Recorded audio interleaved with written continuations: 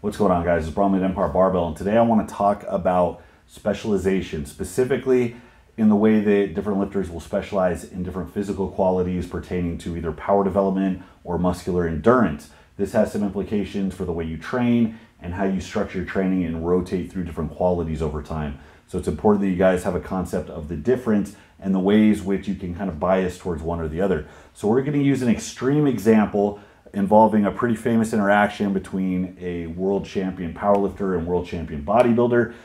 To start out with this chart, this curve right here, we have percentage against reps. And this curve right here is kind of a best fit line for where most lifters, people like you and me that have been training for a bit, have a certain amount of strength, and are somewhat well rounded in our training, this is where we tend to fall. So starting out, we have 100%. 10% for the average person tends to be between 70 and 75%. That's very common. And then as you get further along, you get further away from where we specialize. We tend to specialize in this heavy range because we think that's where all the gains are, right? So as you get further along out of your comfort zone, this is where we are untrained. And eventually you run into this asymptote. This is like kind of a theoretical limit line here of, of where we can go. Because if you don't train beyond a certain rep capacity, it doesn't matter how much weight's on the bar, you're going to gas out. Just, weight can be zero. You could just be doing body weight squats. If you're keeping a steady pace, eventually you're going to burn out. If you're not conditioned to it, that rep is not going to be very high. So, what we have are examples of people who are more specialized to volume and rep capacity, and people who are more specialized to power development. So, now that we have this idea of what we're charting, I'm going to tell you the story. At FIBO, it's a trade show in Germany in 1993, you had Tom Platz face off against Fred Hatfield. All right, it's a Golden Eagle against Dr. Squat.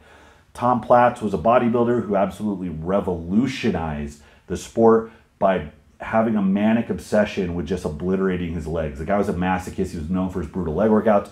The end result of that were thighs that were just unseen in bodybuilding, and he really changed the standard for expectation for leg development. Fred Hatfield, on the other hand, was a world champion powerlifter. A lot of people credit him with the first thousand pound squat. It wasn't, he wasn't, it was Lee Moran, but still is a thousand pound squatter nonetheless. Uh, it was back in the day before equipped and raw were like two different divisions. So you still got like first generation squat suits that provided a certain amount of support. So those records tend to go with like an asterisk because now we really go out of our way to separate them.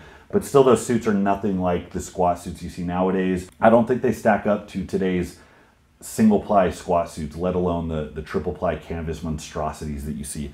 So, regardless, uh, Hatfield, he was also a bit older. Um, Hatfield was a monster squatter. It's what he was known for. He was very explosive. He was known for being very, very explosive. And he was also a specialist. Uh, he was really known for being one of the first guys. I mean, you guys think Louie Simmons was like the first guy to pull Soviet knowledge uh, into the United States and use it to help with making better training decisions. Hatfield was actually a PhD.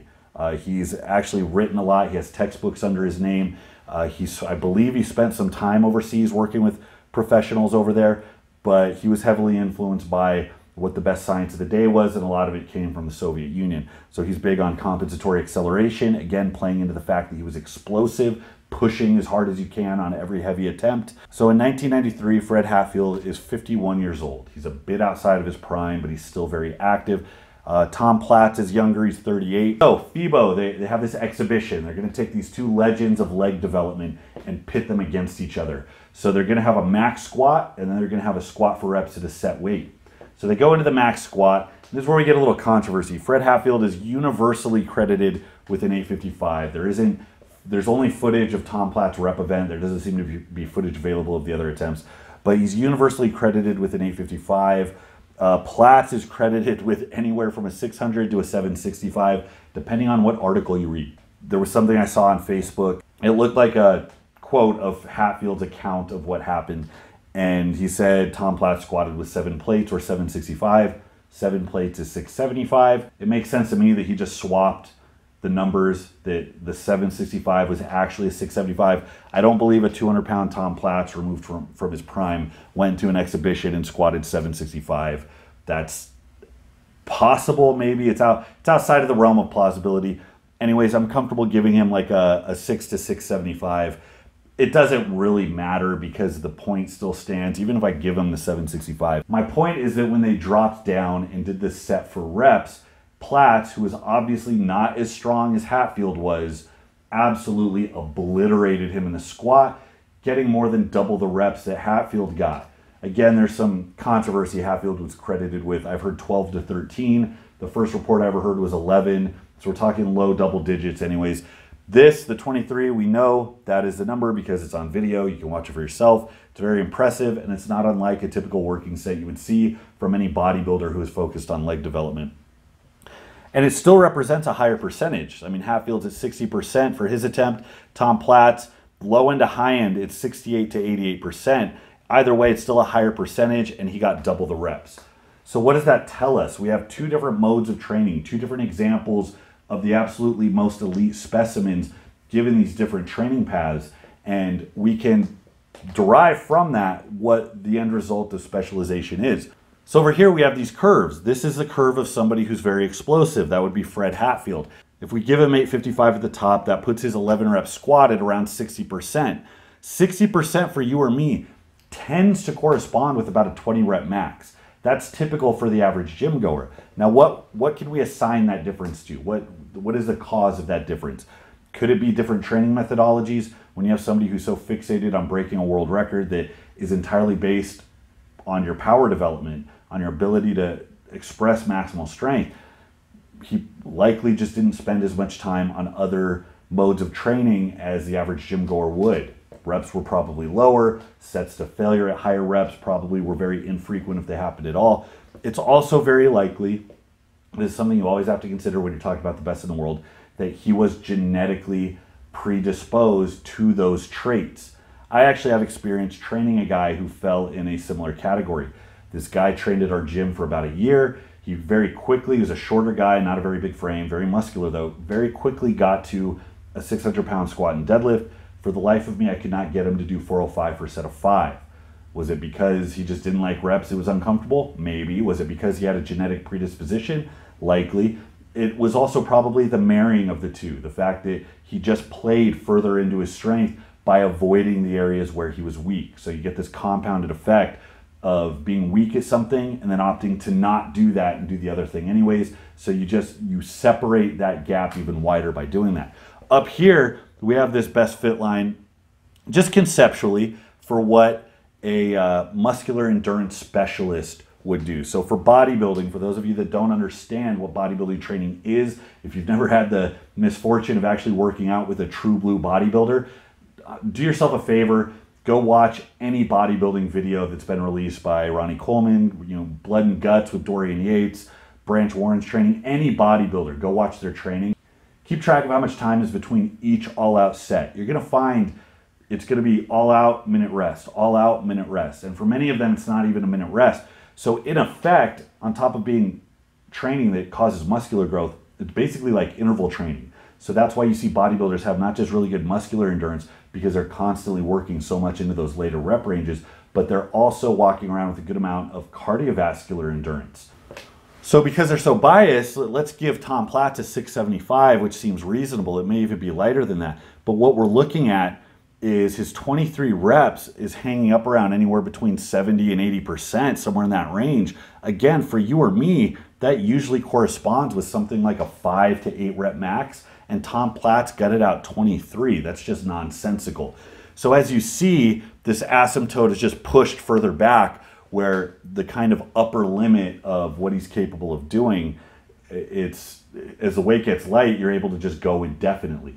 And you definitely see that. In fact, this line probably goes off a lot further. I've heard of bodybuilders being able to get into the 100 rep range on very light movements. So that it just goes to show how that line gets shifted further back as your ability to just regenerate substrates that you expend through training.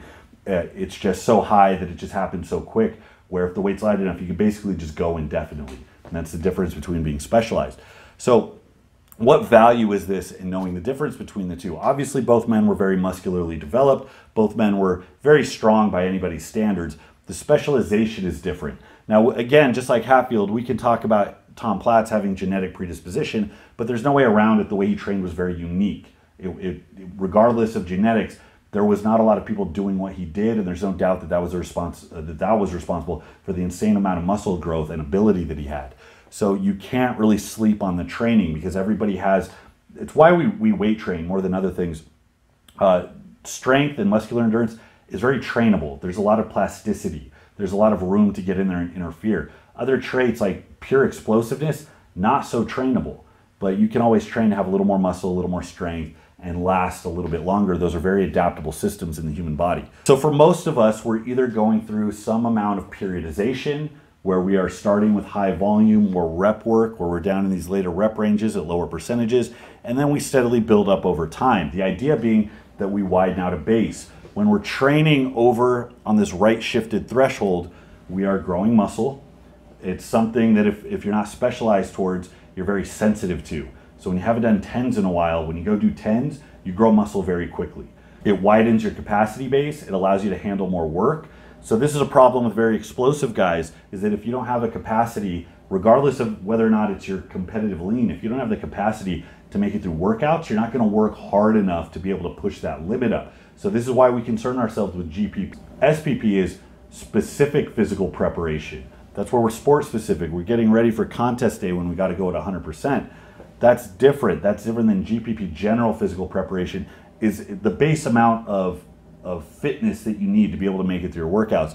A lot of you guys sleep on your general physical preparedness. A lot of guys don't have any capacity whatsoever. They're lazy with their workouts. They don't push their endurance thresholds very often, if at all.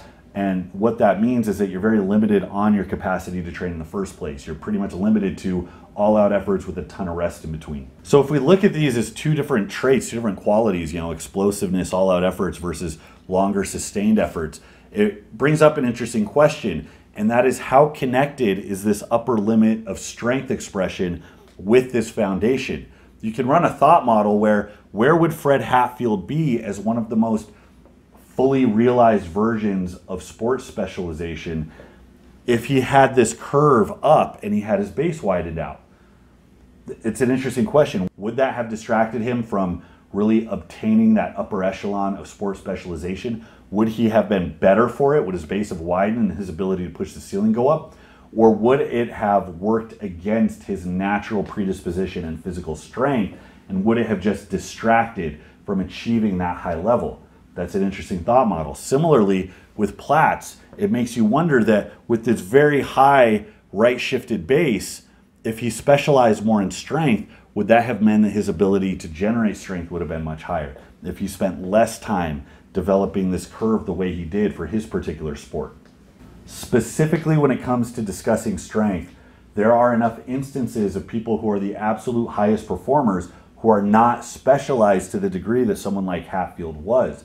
If you look at World's Strongest Man, if you look at a lot of powerlifting legends, you see guys that were very big, very muscularly developed. Especially in Fred Hatfield's era, there were a lot of guys that were really blatant about the fact that they liked reps. Kazmaier talked about liking reps. Doug Young liked reps. A lot of these bigger monster pressers and squatters built their body with a fair amount of work in this threshold. The principles of progressive overload still apply. People tend to interpret progressive overload as getting to the heaviest weight you can handle. It's not. It means you set your baseline and you build off of that. So if you're working in a tens threshold, you're trying to flesh out your ability to do tens. You grow muscle because of that. That helps eventually raise your base up, which lifts your ceiling and how high up you can go. Because I see enough people who are the highest possible achievers who grew into those numbers, it makes me think that even someone as specialized as Fred Hatfield might have left something on the table by not filling out his base wide enough. Now, if I could go back in time and coach Fred Hatfield, I am not willing to bet my life savings on that because now we're getting into a lot of variables and a lot of details. There's what sounds good and then there's what's good in practice. But no matter what, the odds that you are physically predisposed to having the qualities that a Fred Hatfield had is very, very low.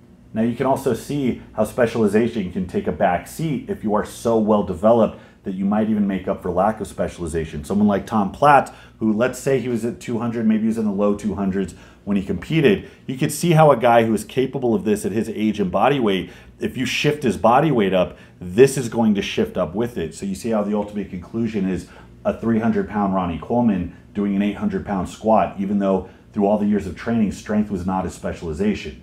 Lifting heavy as a bodybuilder is not powerlifting. I've had a lot of people argue with me about that. That oh, he was a powerlifter. It's like he, you dick around in a powerlifting meet in the early 90s and then spend the next 15 years becoming the most dominant bodybuilding champ in the world. It's not the couple of powerlifting meets you were dicking around in that led to that massive amount of strength as you weigh 100 pounds more. Okay, it's all the size you grew. It's all the bodybuilding training. Doing you know doing a heavy triple somewhere in your bodybuilding training is really secondary to the endless two and three hour long workout. That's if we're trying to compare what had the biggest dent in your physical development, like it's not even close. Ultimately, what you guys are going to see if you try to specialize too early is you're going to be leaning more heavily into your genetic predisposition. You're also going to be trying to realize that ceiling, that hypothetical ceiling that you have off of a very narrow foundation. And this is the biggest problem I see with lifters. They try to specialize too early before they really have a wide enough base to specialize off of. You need a certain amount of muscle mass. You see, you need a certain amount of comfort and experience with the movement. You need a certain amount of experience before you can really get the most out of specialization. Hatfield, you're looking at somebody who trained for decades getting into this field. Olympic lifters overseas, you're looking at people who start very young. So by the time they're teenagers, they have way more physical mastery than pretty much any American teenager, Western teenager that you've met. Our training approach has to be different. We ultimately have to pad our training to make up for the lack of opportunity that we have or the lack of physical gifts that we have. So thanks for watching guys. I know that we kind of got into the weeds here. There's a lot to sink your teeth into, but understanding this as far as how the human body works is gonna help you get a handle on your own training and what types of things you should be doing and when it's appropriate to make maneuvers and changes. So we're always gonna be doing comparisons like this to give you an idea of what your best possible course of action is. If you have any questions, and I'm sure there will be, leave it in the comments. If you want more interaction, I'm getting to the point where I can't really respond to all the comments under the videos, so take it to the forum. There's a bigger discussion on the forum. It tends to be a little less manic and all over the place, and there's not so many trolls. So go ahead and sign up on the forum, empireforum.com. Thanks for watching, guys. Until next time, this is Bromley at Empire Barbell. I'll see you.